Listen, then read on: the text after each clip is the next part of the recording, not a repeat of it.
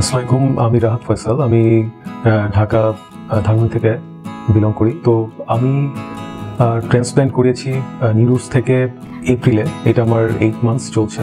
প্রথমত আসলে আমি হেয়ার ফলের সমস্যার মধ্যে দিয়ে যাচ্ছিলাম। তো আমার প্রচুর হেয়ার ফল হচ্ছিল। তো এক সময় এমন একটা সার্টেন স্টেজে চলে আসে যখন আমি একটা পারমানেন্ট একটা সলিউশন খুঁজছিলাম আসলে যে কি করলে লাইক আগের মতো যে লুকটা ছিল সেটা আসবে।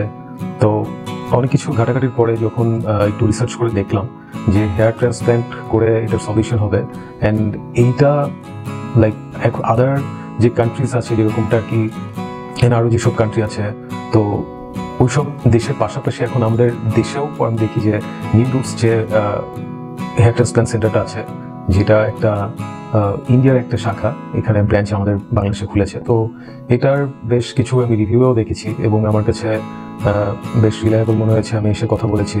তো পরে আমি ডিসিশন নিয়েছি যে এপ্রিলে আমার হেয়ার ট্রান্সপ্ল্যান্টটা করব।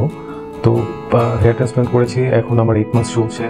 আর লাইক আগের থেকে আমি বেশ কনফিডেন্ট আমার রেজাল্টটা আলহামদুলিল্লাহ ভালো এসেছে। যদি এখনও আরও বেশ কিছু রেজাল্ট আসা বাকি আছে, কারণ এটা অনলি এখন eight months so twelve months পর্যন্ত কাউন্ট করতে পারি যে রেজাল্টটা আসবে।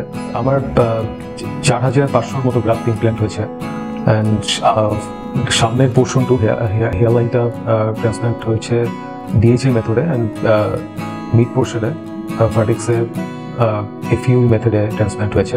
আমি এখনও মেডিসিন কন্টিনিউ করছি। অ্যান্ড আর হচ্ছে যে, এখন আগের থেকে বেশ কনফিডেন্ট কারণ আমার আগের যে লুকটা ছিল, সেটা এখন আবার চলে আসছে। আর আমি বেশ এখন কনফিডেন্টলি সব কিছু করতে পারছি।